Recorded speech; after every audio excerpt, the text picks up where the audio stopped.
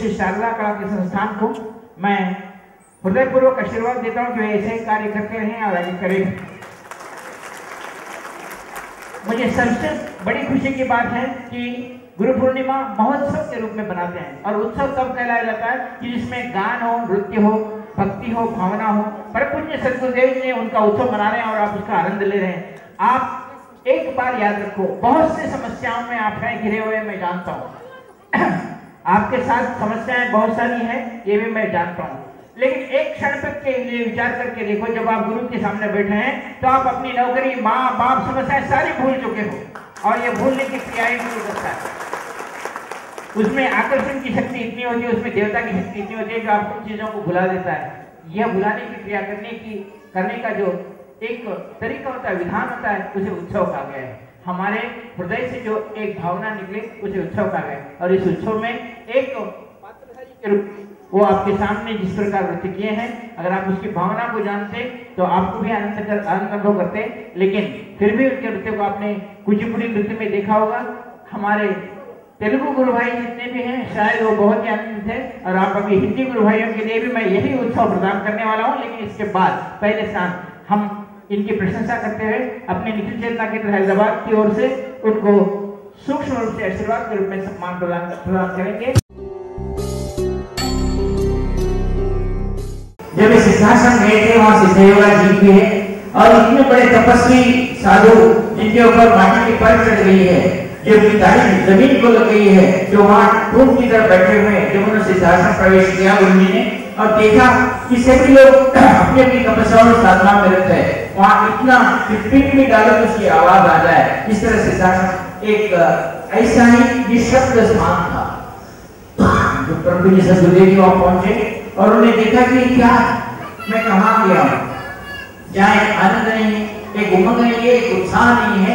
यहाँ उसी जंगल में बैठे हुए हैं जिसे पेड़ बहुत सारे वर्षों से बढ़े हुए हैं और वहाँ जाकर बैठे हुए हैं। ये सिद्धाश्रम ये सिद्धाश्रम के सिद्धों का स्थान है। जहाँ प्रसन्नता नहीं है जहाँ किसी प्रकार की शांति नहीं है, और ये शांति तो मरगट की शांति ऐसी शांति का क्या? वे पंडित सदगुरुदेव, दादा गोस्वामी सच्चिदानंद सदगुरुदेव जी के पास गए और कहा कि मैं सिद्धाश्रम को बदलना चाहता हूँ। दादा गुरु स्वामी सच्चिदानंद सदगुरुदेव जी को पता था, स्वामी वेंकटेश्वर जी, कितने तपस्वी, ऐसे तपस्वी है जिनकी तपस्या का लोहा माना जाता है। जो सिद्ध है, सिद्ध पुरुष है, ये वे भी नाम के केवल दादा गुरु स्वामी सच्चिदानंद ने सिद्धाश्रम के उतने संचालक होने पर भी केवल तीन शिष्यों को किया और उनके आखिरी शिष्य परम पूज्य परम स्वामी कृष्ण जी थे जब स्वामी कृष्ण ने बात कही कि मैं इस शांतता को, इस घोर निरव शांतता को, स्मशान शांति को बदल कर यहाँ आनंद और उत्साह मनाना चाहता हूँ और इसके लिए दादा गोस्वामी सच्चिदानंद जी मुझे एक प्रकार की आज्ञा प्रदान करें।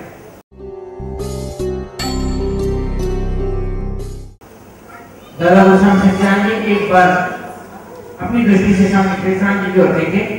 एक में सारे सिद्धांत फैल गई। तो जितने भी दूसरे शिष्य पहले हुए थे, उन्होंने कहा कि ये क्या करना चाहता है? कल का हम हज़ारों वर्षों से सिद्ध यहाँ बैठे हुए हैं। हमारी निशब्दता को, हमारी तपस्या को भंग करना चाहता है स्वामी कृष्णान जी उनको यह आज्ञा न दी जाए। ऐसा दादा गोस्वामी सच्चिदानंद सदगुरुदेव जी के पास हो गए और कहने लगे। परम सदगुरुदेव जी ने कहा कि अगर मैं स्वर्ग में कोई शांति है, स्वर्ग में कोई देवता वहाँ रहते हैं, और उन देवताओं के लिए हम सब लालायित है, अपसराओं के लिए लालायित है, और वहाँ उसकी प्राप्ति के लिए हम तपस्या करते हैं, अमृत प्राप्ति के लिए हम तपस्या करते हैं, और अमृत प्राप्ति के शरीर किस लिए किस काम का? जहाँ शांति न हो, आनंद हो, मोह न हो, उत्साह न हो, ऐसे चोर सुखोड़ नीरव की तरह अगर बैठना है तो प्रभु, इन सभी को ऐसा वरदान दो, ऐसा ऐसा वरदान दो, या ऐसे वरदान को या शाप को इनको सभी को पत्थर बना दो या हीरे के यही रह जाएँगे, और ऐसे ही रहेंगे।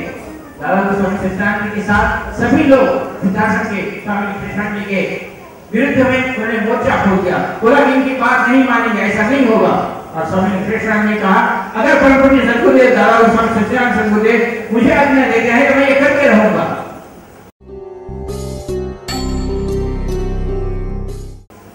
सभा भरी बहुत बड़ी सभा में सभी लोग बैठे हुए थे। सभी लोग स्वामी कृष्ण जी का विरोध कर रहे थे कि ऐसा कार्य ना हो। और स्वामी कृष्ण ने कहा, अगर आप सच्चे साधु है, सिद्धाश्रम में स्त्रियों का प्रवेश भी नहीं था। पहली बार परम संतदेव जी ने स्त्रियों का प्रवेश करने के लिए आज्ञा मांगी। स्त्रियाँ भी तो मन में रहने वाली देवियाँ हैं। हम जिसके हम जिसकी उपासना करते हैं, वे तो सिद्धाश्रम में ना पहुँचे। और जब हुई कि स्त्रियों से समस्या खत्म होती है, और स्त्रियों के कारण तपस्या में विघ्न आता है तो स्वामी निखेश्वर ने कहा तब तो अब सीधे यहाँ नहीं है। आप जाके और भारत में जाकर बैठो, और कहीं जंगल की गुफा में जाकर बैठो। जब आपने चंचलता आज भी सिद्धाश्रम में आने आने पर आती है तो आप कहाँ के सिद्ध है? आपके सामने अक्षरा भी नाचे और आपकी चंचलता न आए तो आप इसकी परीक्षा देखना चाहता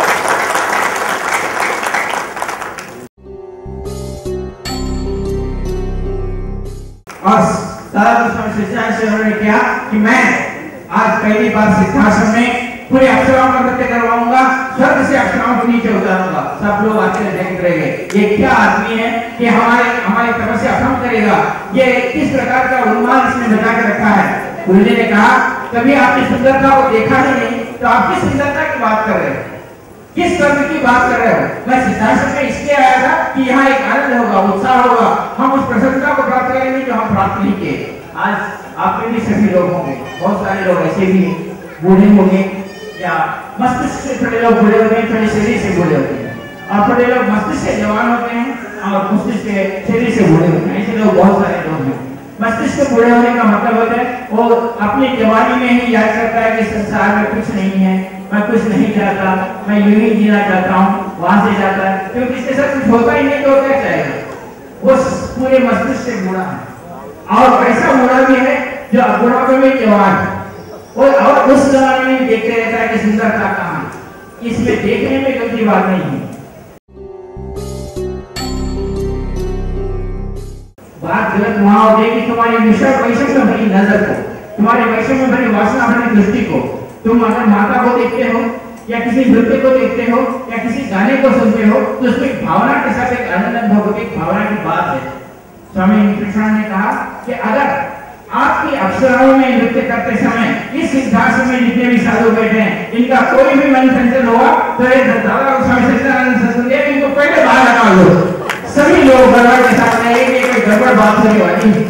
और सभी लोगों ने कहा कि ऐसा प्रभु, ऐसा होने वाला नहीं। सभी ने कहा, हम बहुत दिनों से हज़ार साल से तपस्या करके बैठे अगर कुछ हुआ तो कुछ हुआ तो कैसा होगा? तो किसी तो है ही नहीं। तुम्हें जाना ही जाना।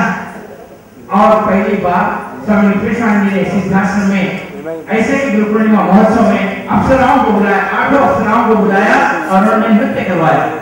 सब नृत्य देखने के लिए, थोड़े साधु छुप छुप के देखने लगे कि कहीं हमारे चंचलता ना है कोई गलती तो है। थोड़े लोगों ने आँख में दिए। स्वामी कृष्ण जी हरे के पास जाते थे छुप के क्यों देख रहा है? सामने आ जा। अभी तेरी परीक्षा। कोई आँख मूंद के बैठा था, उसकी आँखें खोल देते थे, बोले, देख, अफसर नाच रही है। सभी लोगों को परीक्षा का समय आ गया। और सभी लोगों ने एक बात, कहने की बात कही, दादा गोस्वामी सच्चिदानंद ने जब अफसरों का नृत्य देखा और जब आनंद हुआ, गान हुआ वेणु वादन हुआ, भगवान श्री कृष्ण के वेणु वादन को भी उन्होंने वहाँ सुनाया और सब लोग जब जा रहे थे, स्वामी निकेश्वर जी एक ऐसे व्यक्तित्व थे दादा गोस्वामी सच्चिदानंद ने अपने हाथों से प्रसन्नता पूर्वक तालियाँ बजाया कहा कि ये व्यक्तित्व यहाँ आना चाहिए ये आनंद यहाँ चाहिए मैं आज आपको एक बात कह रहा हूँ। हम आनंद मनाए, उत्सव मनाए। आपके घर में तो आप देखते हैं। टीवी देखते होंगे तो कोई रोती रोता सुनाता सास बहू और साजिश ये देखेंगे आप। या देखेंगे तो कोई ऐसी चीज़ देखेंगे जिसमें पूरी तरीके से कोई रो कोई ढंग का अभाव है। अरे रे रे मेरी भी ज़िंदगी ऐसी है ना।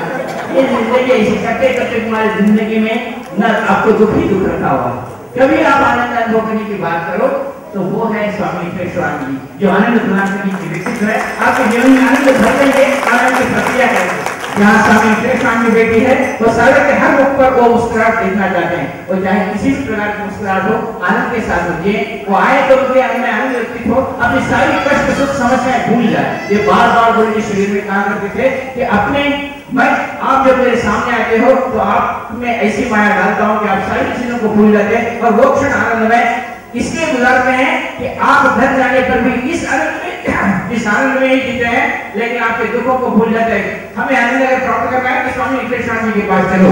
क्योंकि यहाँ दुखी दुख भरा। और वो आनंद प्रकट प्रदान करने वाली क्रिया यहाँ आपके सामने बैठे जिसका आनंद मैंने भी अनुभव किया है? सच बात कहूँ तो एक जमाना मेरा भी ऐसा ही मैं भी सोचता था कि साधना करते हुए मैं कुछ ना कुछ प्राप्त करूँ।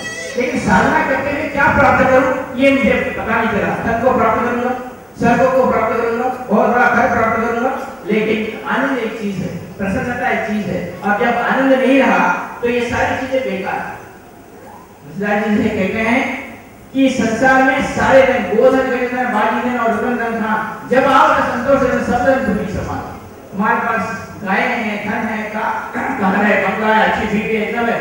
लेकिन अगर संतोष नहीं है तो ये सारी चीज़ें बेकार आज हम आज हम देखते हैं हर सन्यासी, हर योगी के पीछे एक शब्द लगा होता है। विवेक आनंद निखिलेश्वर आनंद, योगेश्वर आनंद, गिरिजानंद। ये आनंद क्या आनंद वो है जो नंद ने प्रदान किया था गोपिकाओं को। इस संसार में निरंतर हम उस नंद को प्राप्त नंद का होता है, इस संसार में हृदय को अंदर से एक प्रकार की उत्साह को देना। शारीरिक रूप से सौंदर्य आपके में सौंदर्यता होगी, लेकिन जो मन से सुंदर नहीं है जो अपनी प्रकृति से सुंदर नहीं है जो अपने भावना से सुंदर नहीं है, वो कभी सुंदर नहीं कहलाता। वो कभी तो कितना भी सुंदर हो, उसके चेहरे पर अगर आँख नहीं तो एक बात ऐसी गई तो बात ऐसी हुई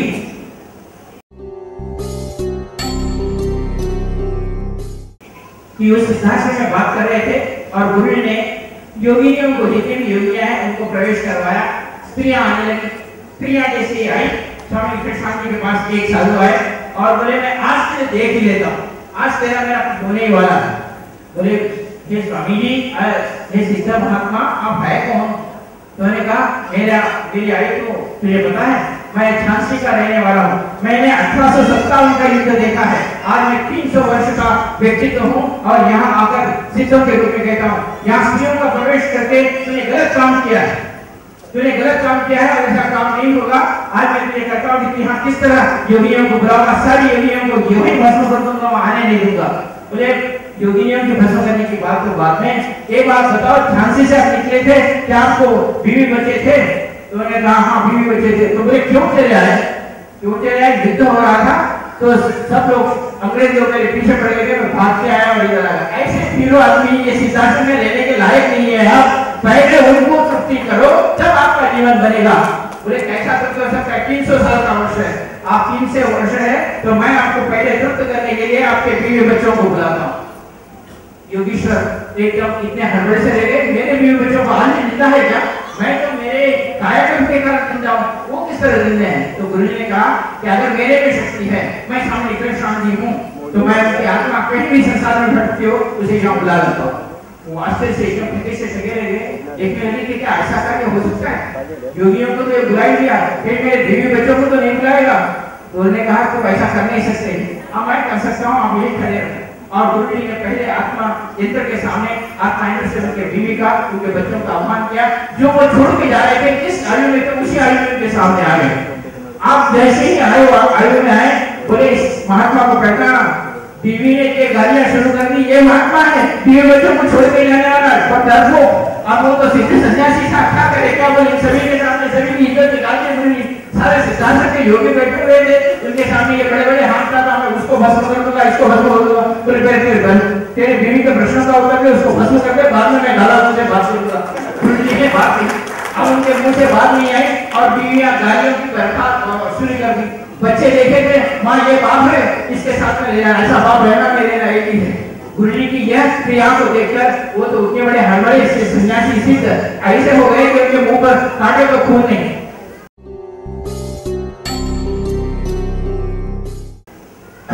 से कहा, मैं ऐसा करने से पहले कम से कम विचार तो लेते मेरा क्या विचार था? आपने तो कहा कि योगियों को भस्म कर दूँगा स्त्रियों को सिद्धार्थ में प्रवेश नहीं करने दूँगा। मैंने तो केवल आपके पत्नी को ही बुलाया है।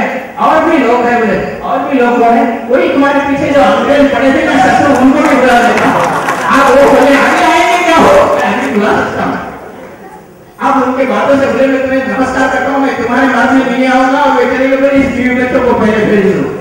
उन्होंने कहा, बीवी बच्चों को भेजता हूँ। अगर अगली बार ऐसी कोई बात हुई तो आप याद रखना, मैं अंग्रेज़ों को बुला सकता हूँ। और वो लोगों को पहली बार उन्हें ऐसी शिक्षा दी कि संसार में डर क्या होता है भागना क्या होता है, सन्यासी अपने पास पैसे नहीं है, अपने पास कुछ नहीं है, इसलिए भागकर सन्यासी बनने वाला सन्यासी नहीं कहलाता सन्यासी वही कहलाया जाता है संसार को जीते इसलिए गुरु कहा करते थे? जिसके पास कुछ नहीं है, जो कमा नहीं सकता, जो मेरे बच्चों को पोस कर बड़ा नहीं कर सकता, जिसके पास कुछ है ही नहीं और कमाएगा नहीं तो कहेगा, मैं सब कुछ छोड़ के जा रहा हूँ। अरे तेरे पास है क्या? लंगोट भी नहीं छोड़ने के लिए तो छोड़ के क्या जाएगा? वह सन्यासी है जो अपने पति पुत्रों को श्रेष्ठता से देखता है, करोड़ रुपए कमाया, दस करोड़ रुपए कमाया कहता है छोड़ के जा रहा वो मत है, वो पुरुष है। और वो सन्यासी व्यक्ति है। हमें काटा रखते पहले या दाढ़ी बढ़ाने से श्रेष्ठ नहीं होता। तब गुरु जी के पास एक दूसरी स्त्री आई और उन्होंने कहा कि प्रभु, आपने इस सिद्धाश्रम को सिद्धाश्रम में तो बुला दिया यह तो चमत्कार दिखा दिया गुरु जी को कितने लोगों से सामना करना पड़ा इस सिद्धाश्रम में बात बता रहा हूँ आपको। तो वो स्त्री आई और उसने कहा कि आप ये बताओ, मेरे पति कहाँ है? मैंने संन्यास लिया है बहुत 200 साल पहले संन्यास लिया है। अगर आप मेरे पति को बुला दे तो बहुत श्रेष्ठ था गुरु ने कहा, क्या समस्या थी जो आप संन्यास, सन्यासी नहीं बन गए? उसने कहा, क्या सन्यासी थी? रोज पीने मारता था मेरा पति। और मैं सन्यासी हो गई। योगी साधु के साथ मैंने तपस्या की दसमा विद्या को सिद्ध किया और मैं सिद्धाश्रम में पहुँची। तो आप चाहती क्या है? तो उन्होंने कहा कि वो मैं मेरे पति को दर्शन लेना चाहती हूँ, क्योंकि पति भी सबसे श्रेष्ठ कहलाया जाता तब गुरु ने कहा, आप पति को देखने के बाद आप श्रेष्ठ नहीं कहलाए जाओगे और आप दुखी होगी मैं नहीं बुलाना चाहता गुरु जी के कितना कहने पर भी वो लोग उन्होंने नहीं माना। तब गुरु ने कहा कि अगर मैं उसको बुलाकर तुम्हारे सामने बताऊँ तो तुम्हें दुख होगा और मुझे भी दुख होगा कि मैंने कार्य, ये कार्य, क्या कार्य किया। मैं तुम्हें साधना प्रदान करता हूँ।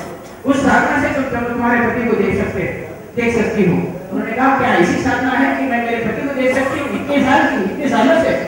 उन्होंने कहा हाँ देख सकती हूँ, मैं साधना में प्रदान करता हूँ। गुरु ने पहली बार उसे महाकाल भैरव साधना की। काल भैरव है, काल को चक्र को पीछे घुमाकर उस व्यक्तित्व को उस समय का फिर लेके आकर प्रस्तुत करता है कि ये व्यक्ति तुम जब ज़िंदा थे, जब तुम्हारे पति को छोड़े थे, उस पति को लाने की क्रिया को कर सकता है तो उन्होंने कहा तो आज के दिन मेरे पति को देखना चाहते हैं?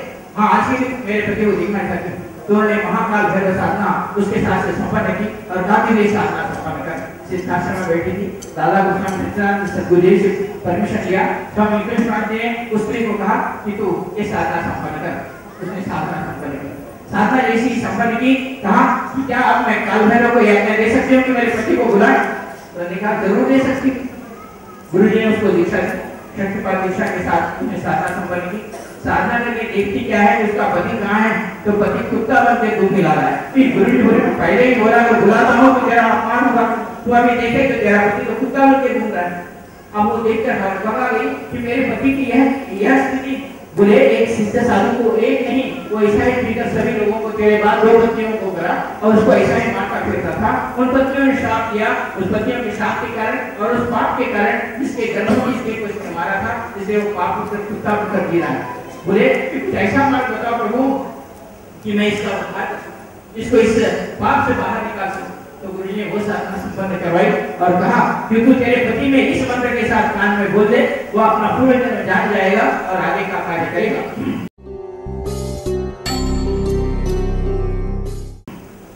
गुरु ने आत्मदर्शन साधना नाम की साधना करवाई। उस कुत्ते को बुलाया और उन्होंने कहा, मैं तुम्हारी वो पत्नी हूँ, तेरा इस दिन में ये नाम था, तू ये क्या कुत्ता बनकर घूम रहा है? तू पीकर ऐसा क्यों है? तुझे पता था कि मैं पूजा करती थी, तू उस मंदिर जाया करता था। उसे आत्मदर्शन का जैसा ही ज्ञान हुआ, वो अपने आप वहाँ कुत्ता उस कुत्ते को देखा और वो वहीं मर गया। मर गया तो उसने कहा कि दूसरा जन्म क्या होगा? तो इसका दूसरा जन्म होगा मयूर। मयूर का मतलब मोर वो मोर के जन्म में आया, फिर मोर मोर के जन्म में गुरु ने फिर वही साधना करवाई और वही मंत्र मंत्रोपदेश किया। फिर वो मोर बन के वैसा ही मरा और तीसरी बार उसका जन्म हुआ। तो एक एक सुंदर ब्राह्मण के, पुत्र के रूप में उसने जन्म लिया। तब यह शास्त्री ने जाकर कहा कि आज कृपा से तुम ब्राह्मण पुत्र होकर जन्म लिए हो, और मैं 200 साल पुरानी तुम्हारी पत्नी हूँ। मैं चाहती हूँ कि तुम्हारे साथ मैं तुम्हारी साथ शादी करूँ और इस संसार को, इन भोगों को पति पत्नी दोनों मिलकर हम सिद्ध करें। गुरु ने उनको कहा कि यह अभी तेरा पुत्र रूप में, ब्राह्मण पुत्र में जन्म लिया है, उसका केवल आयु उसकी एक वर्ष की है और तू दो दो सौ वर्ष की है। तो इसको किस तरह किया जाए? तो गुरु ने उस समय भी साधना करवाई, जो काल दर्शन महाकाल भैरव साधना कराए जाते काल के माध्यम से उसको एक ही मिनट में इतना बड़ा किया कि उसको शादी के योग्य किया। और उन दोनों की शादी हुई। और ये दोनों की शादी जब ये घटना सारे शासन के लोगों ने देखी तो कहा कि स्वामी कृष्ण जी विज्ञान से भी बड़े एक महान व्यक्तित्व है। और इस जिनके पास से बहुत कुछ सीखने को है, हम ठोक करके बैठे हम इनसे कुछ सीखना है और इनकी बातों को मानना है और उन्होंने सभी ने निर्णय किया कि सिद्ध योगा फ़ील्ड में हो। आनंद और उत्साह के साथ सभी सिद्धार्थ में घूमेंगे और सिद्धार्थ में आनंद के साथ रहेंगे जहाँ आनंद नहीं है वहाँ सिद्ध नहीं है, साधु नहीं है स्वर्ग है, नरक है, कुछ भी नहीं है। और प्रभु के पास से सिद्धार्थ के बहुत सारे लोगों ने इन साधनाओं को स्वामी कृष्ण से लिया। इसी प्रकार एक दो ऐसे महान साधु मिले, जो एक अध्यात्म को मानता था और दूसरा एक केवल कर्म को मानता उसका नाम, एक का नाम था केशी ध्वज नाम का और एक का नाम था खांडी। खांडित्य ये दोनों के बहुत सारे दोस्त थे। और अच्छे दोस्त होने के कारण उनमें इतनी तीव्रता थी कि दोस्ती में कहता था कर्म ही श्रेष्ठ है। लोग कल्याण करते हुए लोगों की रक्षा करना यह श्रेष्ठता है। अध्यात्म में करते हुए ध्यान करते हुए बैठना श्रेष्ठता नहीं है और इसे केवल तुम अपनी चाहते हो, लेकिन लोगों का कल्याण नहीं कर सकते। इसलिए कर्म करने वाला वही श्रेष्ठ हो। लेकिन दोनों ही राजा थे और दोस्त रहने के कारण दोनों साधनाओं में उतनी श्रेष्ठता के साथ आगे बढ़े। एक हुआ ये कि उस राजा खंडित के राज्य पर एक दूसरे राजा ने आक्रमण कर दिया, तब वो हार गया था और उसके पास बैठा हुआ था। तो फिर किसी से राजा ने दोस्त होने के कारण उस राजा को हराकर इसका राज्य से प्रदान किया। लेकिन खांडीपी को लगा कि मैं अध्यात्म में इतना श्रेष्ठ रहने वाला। मैं आज इसके सामने जो कर्म को मानता है, इसके सामने हाथ रख रहा ऐसे जीना, ऐसे जीवन जीने से भी क्या लाभ? और उसने कहा कि खांडित मैं तेरा राज्य, तुझे, ये राज्य देता हूँ, तू ये ले ले मैं संन्यास लेकर जंगल में जाकर जाऊँगा किसी राजा ने कहा मैं तेरा दोस्त ज़रूर लुटेरा नहीं हूँ। और मैं मांग कर के तेरे दान पर राज्य नहीं लेना चाहता। मर्द हूँ तो मर्द के माध्यम से राजा दूँगा। कहीं ऐसा समय आया तो राज्य देगा तो राज्य दूँगा नहीं। युद्ध में तेरे को हराऊँगा तो मैं राज्य दूँगा। उसने कहा कि तुम्हारा और मेरा युद्ध कब होगा? देखेंगे कि आगे क्या होता है। लेकिन तू देना दिया हुआ राज्य तो मैं नहीं लूँगा। ऐसा किसी राजा ने खांडी को कहा।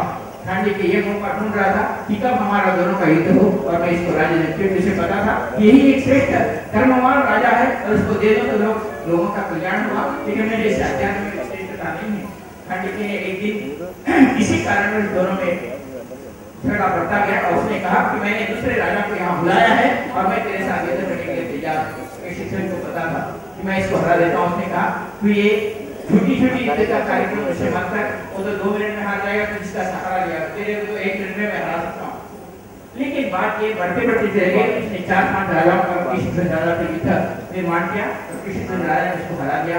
खांडी ने कहा कि मैं अब हार गया हूँ मैं जंगल में साधना करने के लिए चला जाता हूँ। लेकिन ये बात कहा कि जीवन में मैं तुझे बता देता हूँ कि अध्यात्म श्रेष्ठ है, कर्म श्रेष्ठ नहीं है। खांडी के एक कहते हुए वहाँ से जंगल से चला गया। जंगल में चला गया और साधना में तत्पर हो गया। तो किसी तरह राजा अपने गुरु के माध्यम से रोज एक हवरान के वहाँ सब कार्य करता था।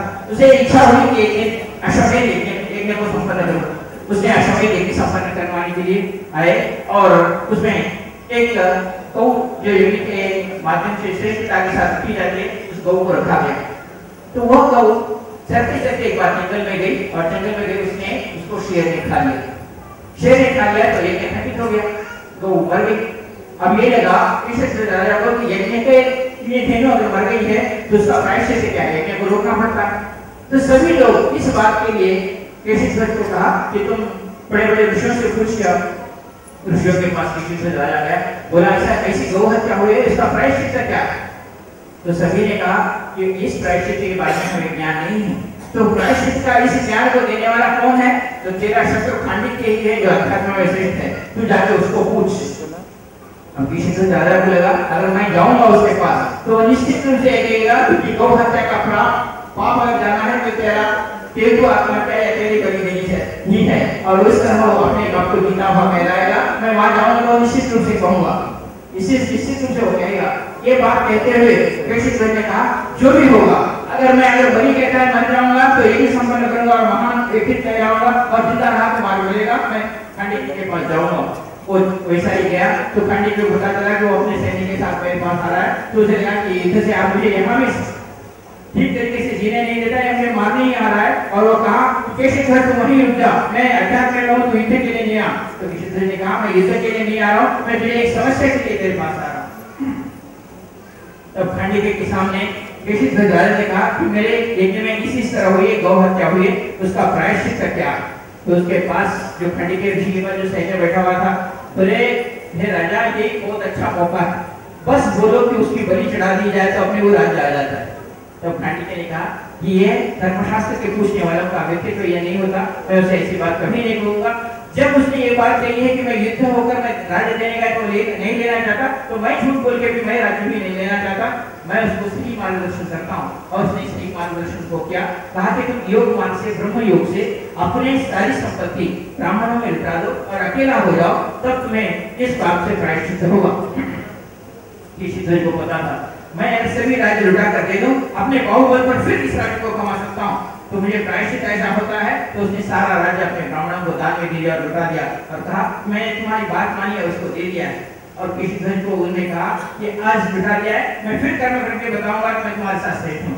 खांडी के हंसने लगे, कितने बार कर्म करोगे? ये बात याद रखो कि तुम्हारे यज्ञ करते समय क्यों गो हत्या हुई और तुम्हें इस चीज़ का फल तुम्हें क्यों लगा? इसलिए लगा कि एक अध्यात्मवान व्यक्ति को इस संसार में कर्मवान भी जितना श्रेष्ठ है उतना अध्यात्मवान भी श्रेष्ठ है। तो उसका अपमान तुमने किया इसलिए गौ हत्या हुई और उस गौ हत्या का कारण तू जितनी बार भी कहेगा ऐसी गौ हत्या या ब्रह्म हत्या होने लगेगी। विद्वान ब्राह्मणों का कभी विद्वान व्यक्तित्व का, विद्वान ऋषियों का कभी अपमान नहीं करना चाहिए और तुमने ये कार्य किया, इसके लिए पाप भोगना पड़ा। तब उन्होंने कहा कि इसके आगे क्या करना चाहिए? तो स्वामी कृष्ण जी, इस केशी के दोनों सिद्धार्थ में कहते हैं हमारे पुराण, इतिहास में, भविष्य पुराण में, ये द्वापर युग के श्रेष्ठ राजा और ऋषि अध्यात्म में श्रेष्ठ कहलाए थे और इस सिद्धार्थ में स्वामी कृष्ण जी के सामने यह कार्य हो रहा था कि इसका निर्णय हमें क्या करना चाहिए। तो पहली बात, स्वामी कृष्ण ने कहा कि आप दोनों भी ज्ञानी है ब्रह्म ज्ञानी है, सब कुछ है।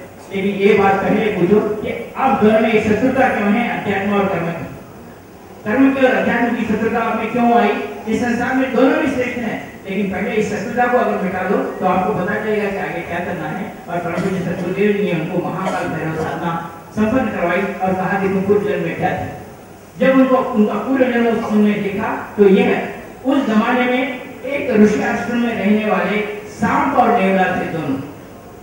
सांप में कुंडली शक्ति होती है और नेवले में कर्म की शक्ति होती है। लेकिन उस ऋषि की कृपा से ये दोनों भी क्षत्रिय हुए, और क्षत्रिय होकर उन्होंने जन्म लिया। जब देखा कि उस शत्रु भावना से हमारे में आज वो शत्रु भावना बन रही है और आज है, तब उन्होंने कहा कि हमारे इस सांप और डेवले की इस दुष्टता से अलग करने के लिए क्या करना चाहिए? तो उन्होंने कहा, पहले कार को अपने हाथ में नहीं लेते। जब तक अपना पूर्व जन्म अपने को पता नहीं चलता, तब तक हम आगे क्या करना है, हमें ज्ञान नहीं होता और हमारे शरीर से गलतियाँ होते ही रहते क्या पूर्व जन्म ज्ञान कर सकते हैं? क्या ऐसी साधना है? तो पहली बार सिद्धाश्रम में किस साधना?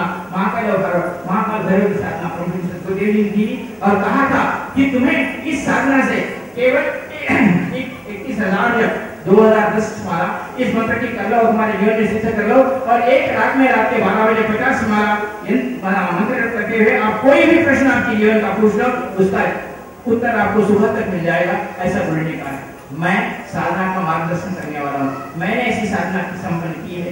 अपने जीवन में क्यों ऐसा जीवन हो रहा है? मुझे जीवन में यही पत्नी क्यों मिली यही पुत्र मुझे क्यों जन्म हुआ? मुझे इस नागपुर में ही क्यों जन्म लेना पड़ा? मैं दिल्ली में, इंग्लैंड में क्यों जन्म नहीं किया अगर आप ये प्रश्न जानना चाहते हो, आपके जीवन में दुख है, किसी का मार्गदर्शन नहीं। आप अपने जीवन को सुधारना चाहते हो कि हमारे जीवन में कष्ट क्यों आ रहा है? हम इतनी मेहनत करते हैं तो हमारे में ऐसी स्थिति क्यों आई?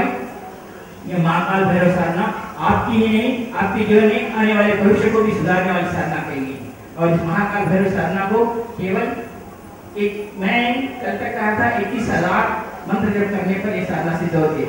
लेकिन गुरु पूर्णिमा के पहले दिन यही साधना उन साधु लोगों को गुरु ने करवाकर कहा था कि केवल 21 माला इस साधना को करो और आप जब भी जीवन में संकट आए, पचास बार इस मंत्र को रात के बारह बजे कर लो। जनता के सामने तो आपका, आपके आने वाले संकट निश्चित रूप से कम नहीं हुआ तो मैं इस संसार में सिद्धार्थ में रहने के लायक नहीं हुई बात गुरु ने कृष्ण राजा को कही थी और वह साधना हमने संपन्न करवाई थी।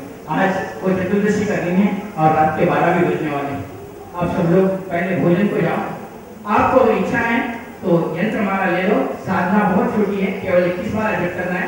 बाकी की दीक्षा या उसका काल मैं बाद में बताऊँगा। इसलिए बता रहा हूँ कि ऐसी साधना परम पूज्य सदगुरुदेव ने पहली बार सिद्धाश्रम और सिद्धाश्रम के वो पांडुलिपि यहाँ गुरु जी जोधपुर से निर्मल आए हुए हैं, उन्होंने उस सिद्धाश्रम की पांडुलिपि को माता जी से पूछ कर मेरे पास आया था और मैं इस बार उस साधना को निकाला है, जो गुरु जी ने स्वयं हस्ताक्षर से लिखी हुई है और उस साधना को मैंने लिखा है कि महाकाल भैरव साधना परम पूज्य सदगुरुदेव जी के आपके जीवन को सुधारना चाहते हो, आपके जीवन के दुख को मिटाना चाहते हो, आपके जीवन में ऐसा कुछ हुआ है इसको जानना चाहते हो तो किसी के पास जाने की ज़रूरत नहीं है।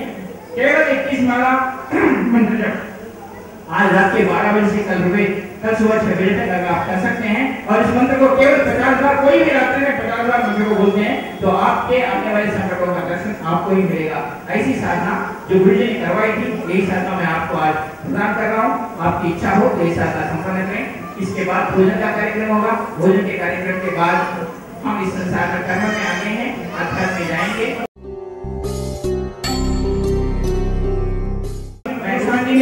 जिस उद्देश्य के में गुरु बालिकाओं को दिया था, उस उद्देश्य आपके सामने लेकर खड़ा हूँ। आप सब लोग उन बालिकाओं पर जल चढ़ाने के लिए पवित्रता के साथ वहाँ आए गड़बड़ ना करें, डालते हैं। अगर आप अपने शर्ट पे डालते हैं, बिना गुरु चादर के डालते हैं तो पाप पुण्य आपका। मैं मार्गदर्शन करने वाला हूँ। गुरु चादर गुरु धोती पहनकर ही उस जिस मंत्र को मैं उच्चारण दे रहा हूँ आपसे जितना एक माला, दो माला कितना भी होता है, माला करके जब बुलाऊँगा, तब जितनी सभी को अवकाश देने के लिए, सभी को चांस देने के लिए आप जल्दी जल्दी गुरु पालुकाओं को जल चढ़ा दे जाए। गुरु पूर्णिमा के दिन गुरु पालुकाओं को स्पर्श करना, गुरु पालुकाओं पर जल चढ़ाना, गुरु जी के पास अपने को देना, ये श्रेष्ठता करे।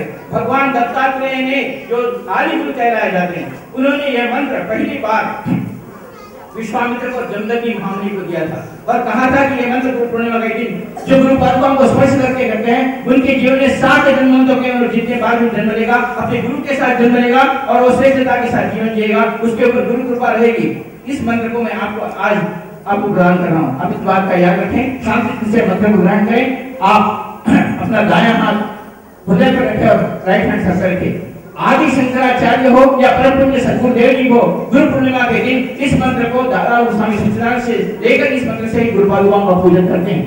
ये बात गोपाल गोविंदाचार्य जी ने बताई थी। दादा स्वामी सच्चिदानंद सदगुरुदेव जी ने महाता बाबा जी ने बताई थी, अच्युतानंद जी ने बताई थी। जो सात परंपरा के गुरु पूर्णिमा के गुरु कहते हैं उनका सिंहासन में पूजन होता है। उस सात गुरुओं में दादा गुरु स्वामी सच्चिदानंद जी, गुरुग्राम जी महाराज, स्वामी अच्युतानंद जी स्वामी विवेकानंद जी त्रिगुणाथ त्रिगुणातीनंद जी, विघ्नेश्वर जी और भगवान जी महाराज। ये सात गुरु गुरुओं का पूजन होता है। इनका स्मरण करने मात्र से। और दादा स्वामी सच्चिदानंद, सतगुरुदेव जी कहते हैं कि वे रूप उनका दूसरा रूप धारण करके स्वामी दत्तात्रेय जी दादा स्वामी सच्चिदानंद, सतगुरुदेव जी ने सिद्धाश्रम की स्थापना की।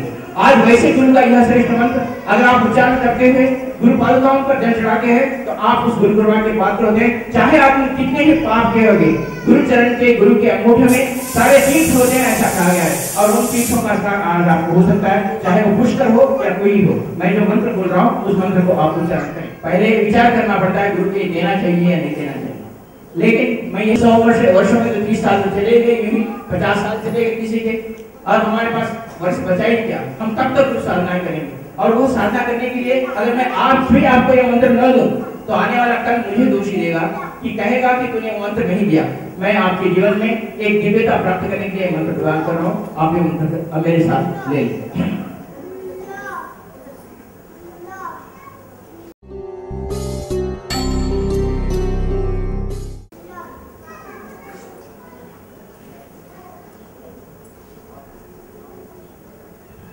ऐं